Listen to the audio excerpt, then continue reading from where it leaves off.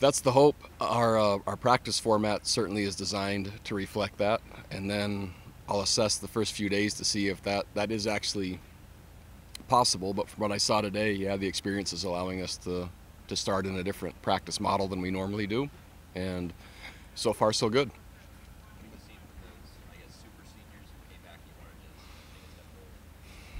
Yeah, I, I, wanted to see them take a step forward, but I think more importantly, they wanted to see themselves take a step forward. And with all the uh, progress um, in their first, well, the first four years basically, and they were part of, they didn't like the finish last year, and they didn't like the circumstances in which it finished, and um, so they were asked, um, and it was presented, "Don't come back unless, right? Um, you're you're passionate about this program improving, you improving, and and really mean, and want to come back. And so it wasn't a wasn't a chance just to be a placeholder year. And um, to their credit, they've they've worked really hard. And so, yeah, great experience for us coming back, um, and increased commitment, which is great. Last year was so obviously disjointed for a lot of reasons. You had a lot of responsibilities beyond coaching football. Um, what was it, the mood or the, or the vibe today? Because it, it, seemed like get back to normal. We, so you hit jump coach Tuesday early to maybe set the tone. It, yeah, it wasn't an intentional tone setter, but um, it's nice to talk without a mask on, and it's nice to to get a team prepared without the COVID protocols being front and center and the very first thing I consider every day.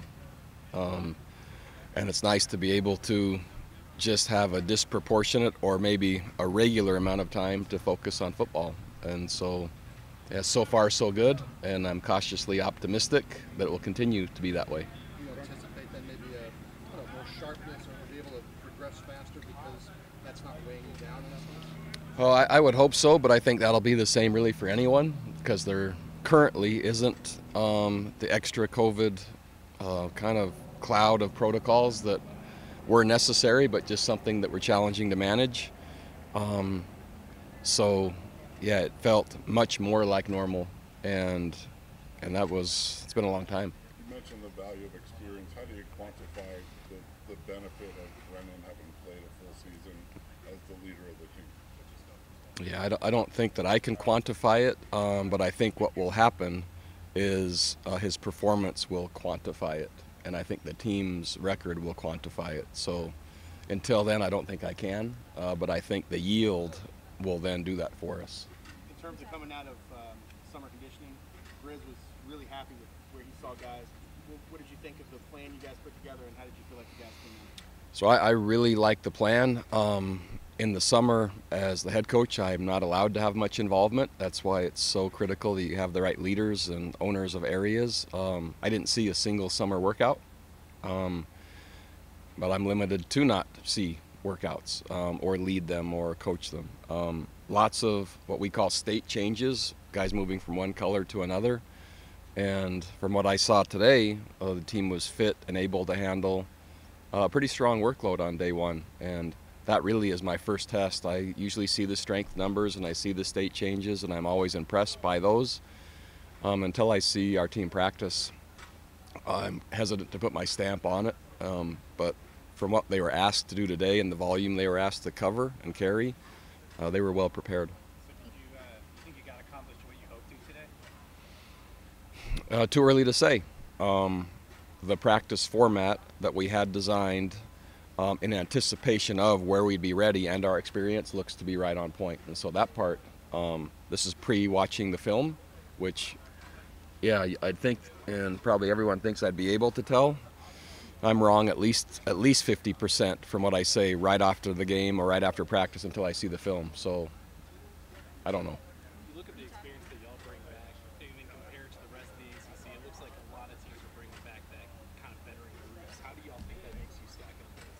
I think we have as good a chance as anyone to win the league, and I think it's dead even. But I would not rule us out. You talk about the experience coming back, but there's several new faces too. You got to see for the first time out here with some transfers, especially in the secondary. What are some of the things that you already noticed from these new, new faces? Um, really, maybe not so much I've noticed from the new faces, but the effect of new faces is competition and urgency from existing players at that spot. And There's a, a, pretty standard old saying, right, that uh, competition makes us better coaches, and that's what I saw today. Uh, there was more urgency and a higher level of concentration and production at the positions where there's transfers that came in. I know, spe- I know special teams is often something that is often ignored a little bit when we're talking about it, but Jacob Finn, transfer coming in as a punter. What are some initial impressions? Haven't had any yet. Again, because I wasn't here. Well, I was here, but I wasn't watch. I wasn't watching our summer workouts, and we didn't punt today. And so it was a, a kickoff focus day. So I won't be able to really comment on him until I see him. Um, and punt is scheduled for tomorrow. So yeah, we'll follow up. From a health standpoint, where, you, where do you feel like you are? I noticed Derek Devine had a boot on with a, with a cart, um, but in terms of other guys, We're we're healthy. Um, we had two injuries in the summer at offensive line, and Jonathan Leach and Derek Devine.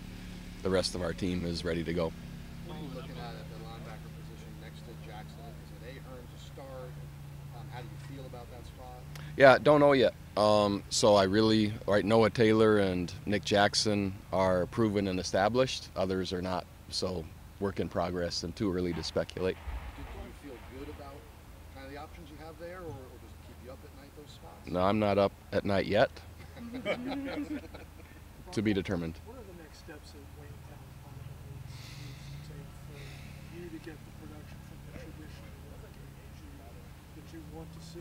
Yeah, I, I think it has a lot less to do with Wayne and more to do with um, our offensive front and the holes he has. Wayne is a really good player, probably our best special teams player, um, and capable in every area. And so, um, yeah, when the holes are bigger, uh, when the blocking is more consistent, the traditional run game will be better. But it really is not so much on him. I think he's doing a really nice job.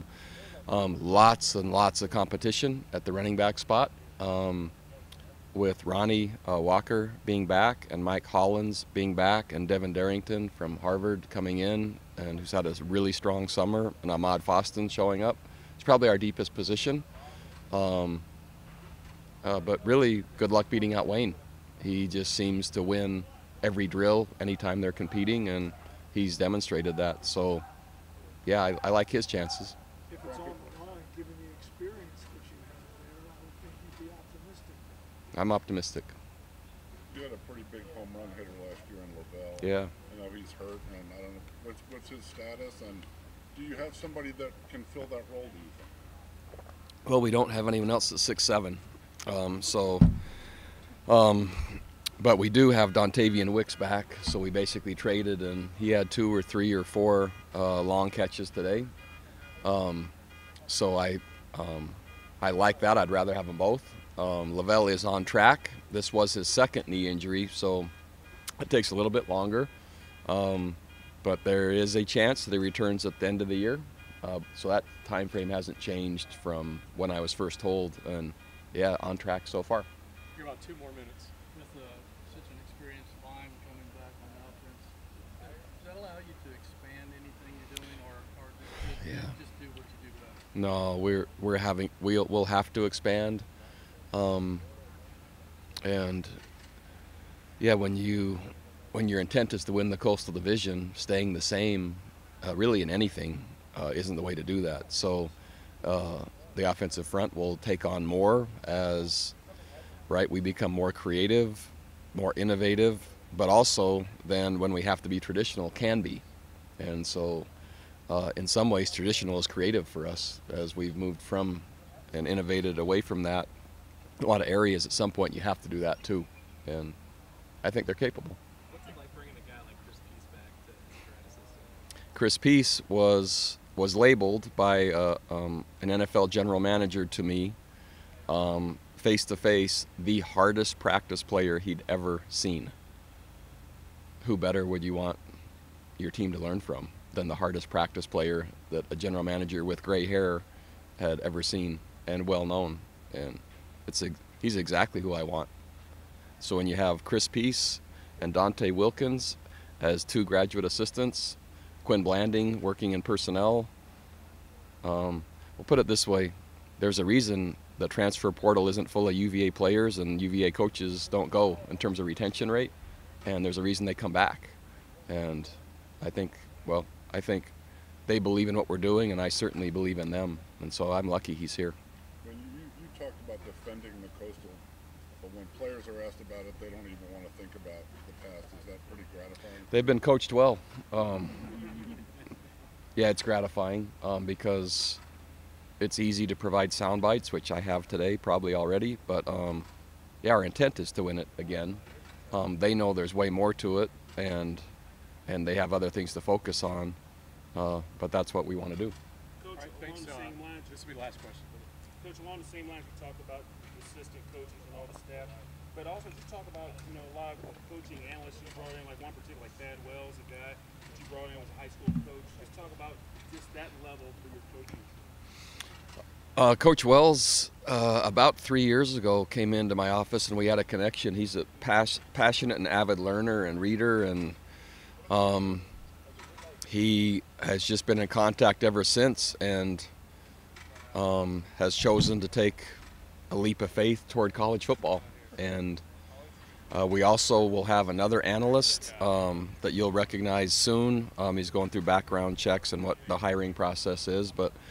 Um, it's a new stage in the program where we're being sought out by those that want to go into college football, but also think our program and maybe the design and architecture of it might add value. So it's great.